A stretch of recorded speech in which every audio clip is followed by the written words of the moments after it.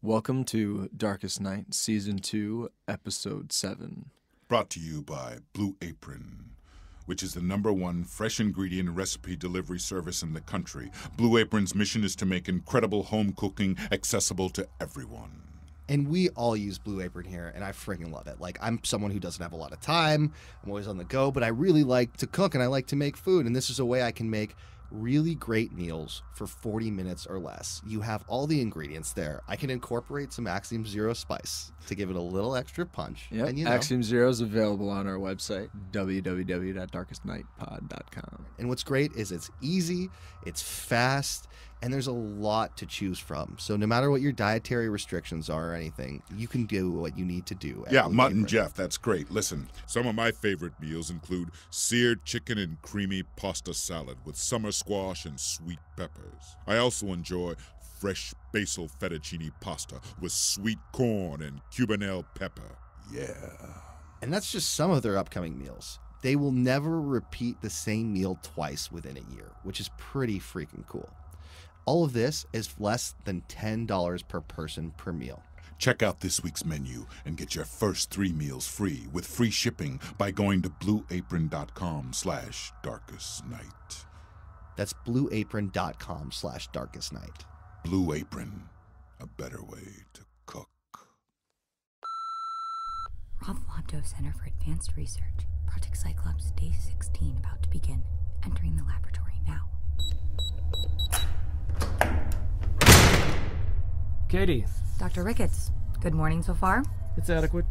Most people just say fine. Most people read at the third grade level. Yes, Dr. Ricketts, I'm doing well this morning too. Thanks for asking. What are you working on? The recurring instances of perception control in several of our recent case studies led me to investigate certain pharmaceutical trials performed by research laboratories. Like the Sabre formulation, which we know was manufactured right here at the center. For all we know, that was the beta test for what we've been seeing. Yes, the Sabre formula was developed here, and while I know that nothing would please you more than to draw a line back to our doorstep with your conspiracy theories, what we've been seeing looks a lot more like the early research of one Dr. Damien Igwe. Igwe. Igwe, that that name sounds familiar. He should. Dr. Igwe's professor now. He's also. Effie's father, the kid who took control of the Pledge Master from Omicron. Correct. What department does Dr. Igwe work for? See for yourself. Well, this can't be. This isn't Roth Lobdo data. Precisely. Dr. Igwe works for Sigma Corp? Dr. Igwe is inconsequential. He's one of many who worked at Sigma Corp. He's not even working there anymore, as far as I can tell. But what that data shows is that the beta development of whatever it is we're seeing actually began at Sigma, not here. I just need to mull this over. If there's one thing I've learned about working at the center, it's that there's always something in the shadows worth chasing.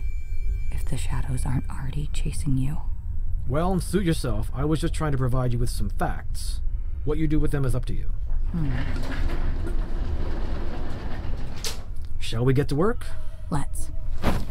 Subject appears to be mid 20s, face and head more or less intact. Are those teeth marks on the neck?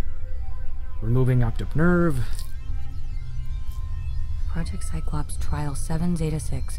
Timestamp is registering correctly. Initiating playback in 3, 2, 1. Initiate.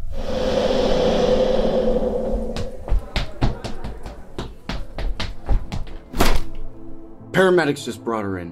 Adult female, looks to be in her mid 30s. Experienced blunt force trauma and multiple lacerations. Massive blood loss. Get her on the table. Got it. Montrose! Here! This woman is going to need a transfusion. She's running out of blood. And even if we close her up, she's not going to live if there's nothing left in there. Yes, Dr. Alvarez. As the nurses struggled to move the body from the stretcher to the operating table, Dr. Alvarez quickly surveyed the situation. Pale and beaded with sweat, the woman's clothes were drenched in blood. The thick, coppery scent of her insides filled the surgical theater. And even the medical staff, with their steely resolves, had to momentarily center themselves to stop from gagging. She does not look good. Understatement of the year. Vitals? Weak. Fading. Then you're going to need to think about getting these wounds closed sooner rather than later. Start suturing. On it. And where's my transfusion prep? I only have two hands, sir. Dr. Alvarez. I'm busy, nurse. I understand that, sir, but a woman in the waiting room just started seizing. The admit crew is understaffed and they need someone to check on her pronto. Damn it. Fine, Steve, you're with me. Sir. And Montrose, get that damn transfusion prepped so I can start it when I get back. On it. Recently transferred to the hospital after a number of years working in private care, the young nurse, Steve, was finding his new job to be even more stressful than he had initially imagined. He had already seen an early onset Alzheimer's patient commit suicide in his first few weeks on the job. Still, as he worked with Dr. Alvarez in the lobby to quell the convulsing of the elderly woman, the young man couldn't help but feel a small sense of pride. Tonight, Steve had done good, and no one could take that feeling from him. Hmm, she's stabilized. But the night was young. Thank you, Doctor. Thank you. Of course. A staff member will be by momentarily to take your grandmother to a room for further checkup, but in the meantime, both myself and Steve here need to attend to some other patients. Thank you, again. Just keep her still and calm, and someone will be along shortly. Steve! Yes, Doctor.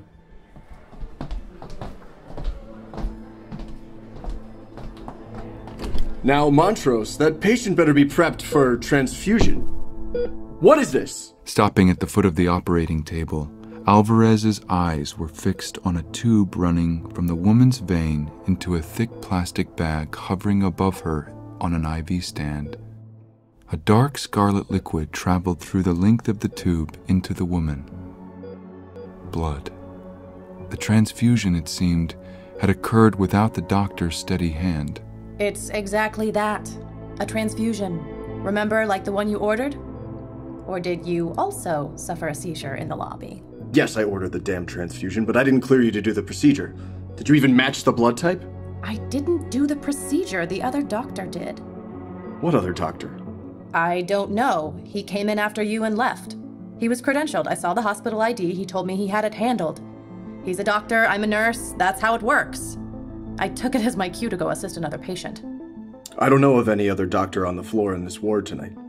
Well, you had to have passed him on your way back in here. He left just seconds before you walked in. Steve? I didn't see anybody. Look, I don't know every doctor in this hospital, and I know you don't either. The important thing is that she's stable. I can take her vitals, then go find the other doctor to ease your mind. And for paperwork. Hmm. Yes, I suppose that's. Oh my god! What? The woman on the table's body rocketed upward, the arc of her back convulsing in time with her screams. Small flecks of crimson escaped her mouth in a bloody mist with each renewed shriek. She's going into cardiac arrest. Since when does cardiac arrest look like this? Sir! Steve! Stabilizer! Montrose, get her sedated, now! As Steve moved to grab and stabilize the thrashing woman, Nurse Montrose rushed to her side with a syringe loaded with a heavy grade sedative. However, any designs the nurse had on sinking the needle into the patient's skin were immediately shattered. With a lightning quick movement, the patient's hand flashed out toward Montrose's, plucking the syringe from her unsuspecting fingers. Just as quickly, the hysterical woman reversed the syringe's trajectory, stabbing it directly into Montrose's chest. The nurse stumbled backward before crashing to the floor. Damn it, Steve! I told you to stabilize her! I'm trying! With a backward snap of her head, the patient's skull collided with Steve's. Ah! Fuck! The young nurse stumbled backward, hitting the floor. Steve! With his assistants dispatched, Alvarez was left staring at the hysterical woman. Surging forward, the woman started pulling herself toward Alvarez. The tube of the IV ripped free, and blood began to spill on the floor. The patient opened her mouth again for what Alvarez presumed was another shriek. Instead, she spoke to him for the first time. It burns! What? What burns? My insides, my veins, they burn! It's it's in my blood! My blood! Your blood? Burns! Lurching toward Alvarez, the woman's open jaw began to emit something more than just a scream.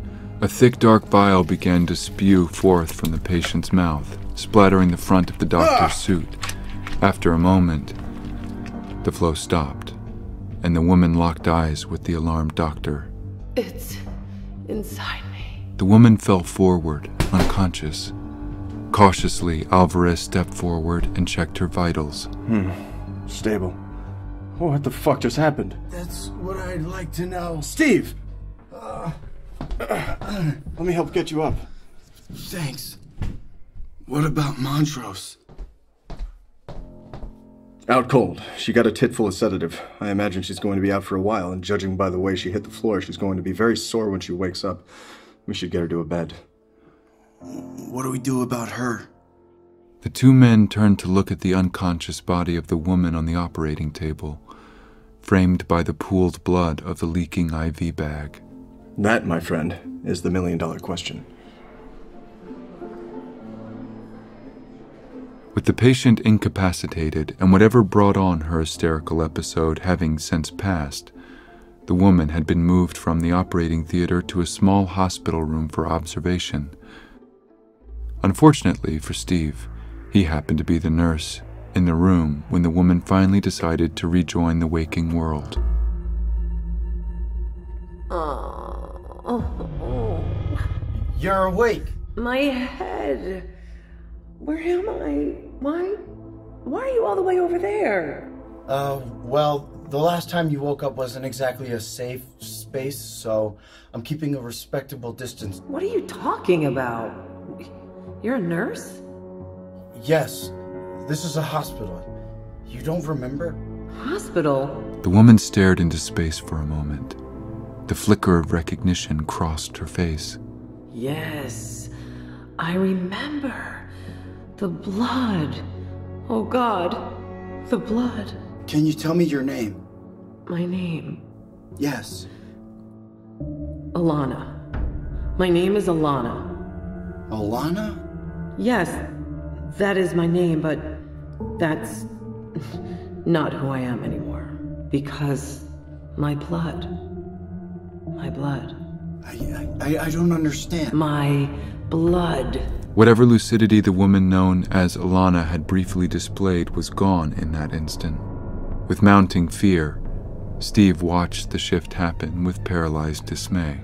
My blood is bad. Bolting up in bed, Alana launched herself from the edge of the mattress onto the floor. She approached Steve with a crazed look in her eye. I need it out of me. I can feel it in my veins. The badness. I have to get it out. I need fresh blood. Clean. It's got to be clean. Hey! Some help in here would be great! It's gotta be clean! Help! Steve, what's wrong? Dr. Alvarez's interruption was enough to pull Alana's attention from the young nurse to the older man in the doorway, staring at the doctor with a look of contemptuous desire. Alana surged forward so quickly that neither Alvarez nor Steve were prepared.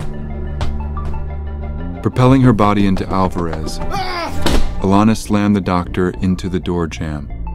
With nearly imperceptible strength, the woman used her bare hand to punch hard into Alvarez's throat, fingernails digging in. Alana yanked backward, ripping a good hunk of Alvarez's neck with it. Hot blood spattered the surrounding wall. Oh my god! I need security! Uh, nurses, doctors, whoever you can send! Realizing a little late that his plea would draw Alana's attention back to him, the young nurse turned slowly to look in the direction of the enraged woman. Steve was dismayed to find she still had the bloody Alvarez pinned to the wall, but was staring directly at him. I wish you hadn't done that, Steve. Throwing a glance back toward the sound of the approaching footsteps, Alana looked back to Steve, caught in a moment of indecision as the sound of the hall drew closer. Alana wrinkled her nose in frustration. Damn it. Pulling her bloody hand free of Alvarez, Alana turned to give Steve one last, hard look. Slowly, she licked a string of wet red liquid from her fingertips. Giving Steve a cold wink, she turned from the room and ran. Moments later, hospital security burst into the room, but they were too late to catch the fleeing woman or to save dear Dr. Alvarez. What the hell happened here? The, the, the, the patient, she, she went crazy. She literally ripped out his throat. A woman did this with her bare hands? Yes. Is she on drugs? Is this bath salts? No, no, I don't think so. That must be one pissed chick. Bad blood. What? Just, just find her, okay?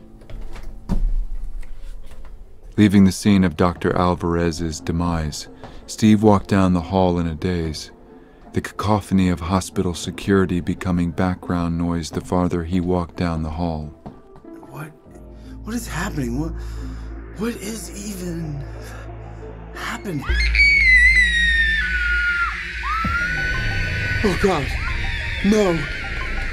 Running toward the screams, Steve's stomach began to sink as he followed the sound. Please, no. Already expecting the worst, his dread only increased as he realized the path he was traveling through the hospital's cold corridors would lead him straight to the children's ward.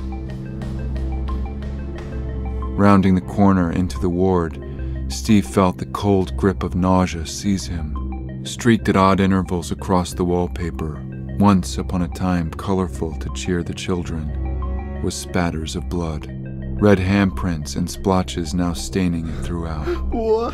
What? Slumped on the floor in the middle of the hall, a nurse, the source of the screams, lay in shock.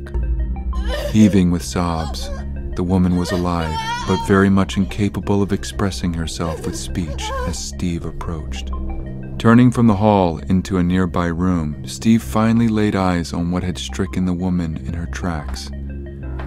The remains of at least three patients, children, lay savaged across the floor.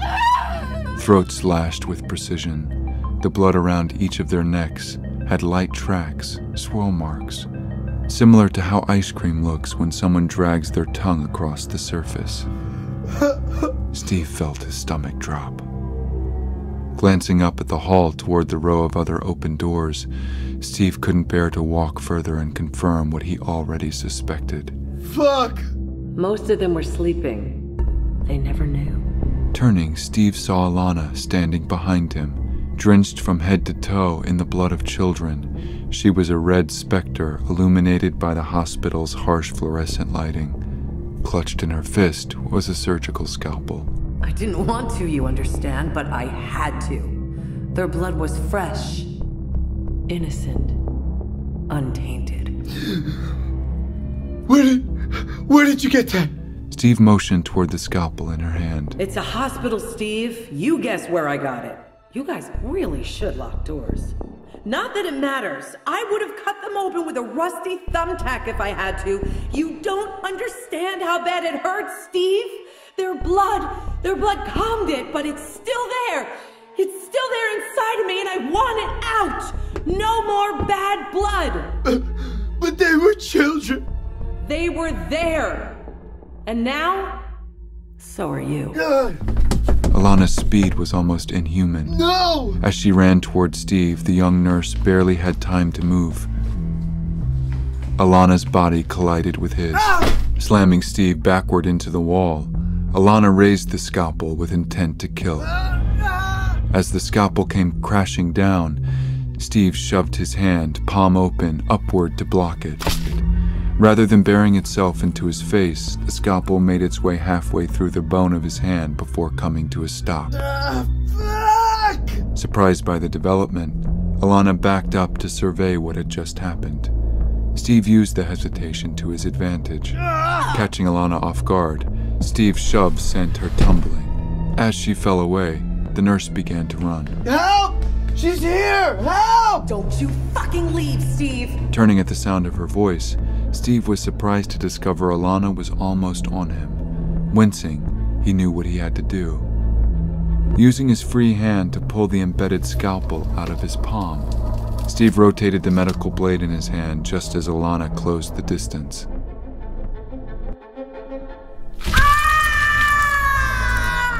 With the scalpel buried deep in her breast, Alana clutched the hilt of the medical tool, blood spurting around it.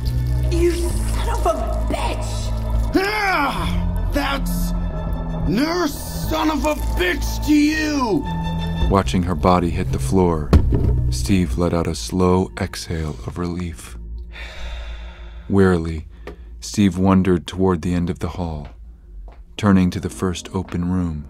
Careful not to look at the mutilated children within, Steve walked to the room's emergency call button and stabbed it with his thumb. Get security! Children's ward. She's here. She's dead. Fuck! Turning to the sound of entering footsteps, Steve froze. Standing in front of him was Alana, scalpel still sticking out from her chest. Despite the foreign intrusion, the woman looked relatively unfazed. She gave Steve a big, blood-stained smile.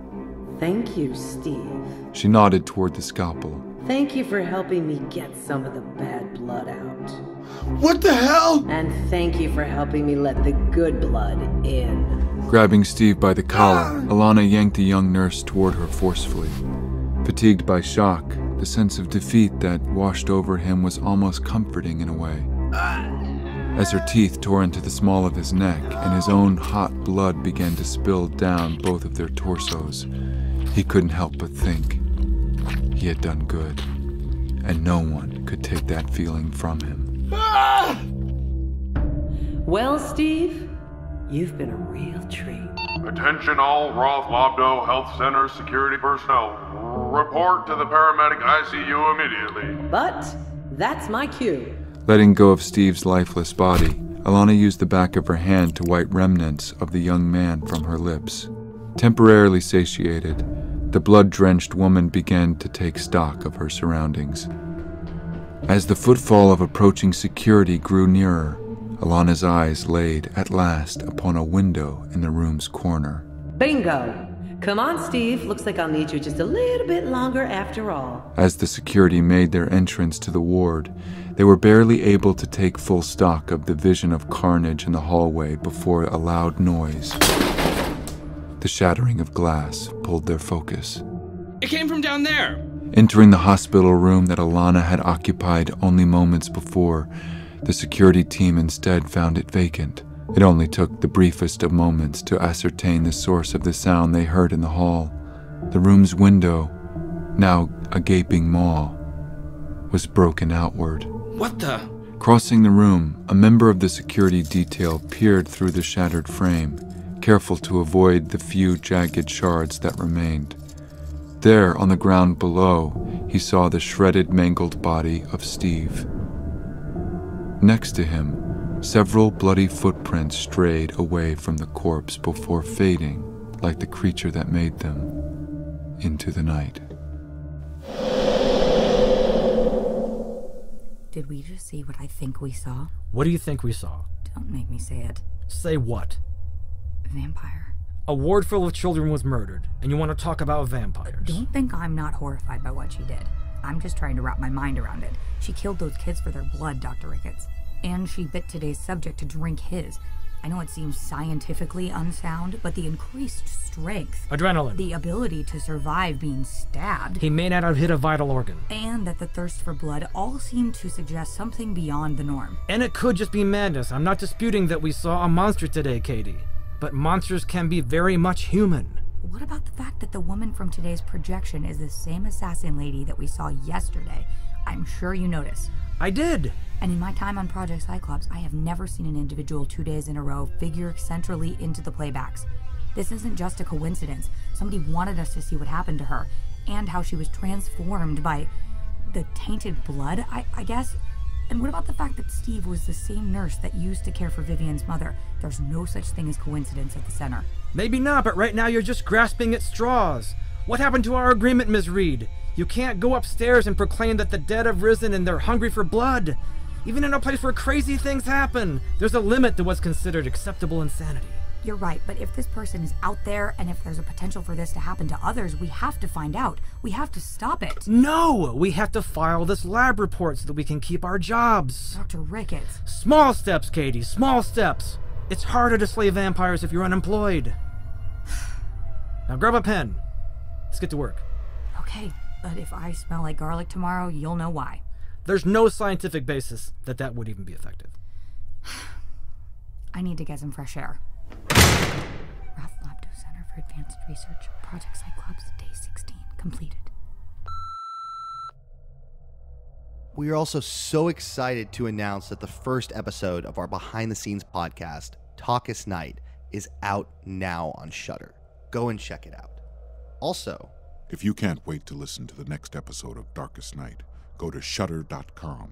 Shudder is a new kind of streaming video service devoted to the best horror movies available from around the world.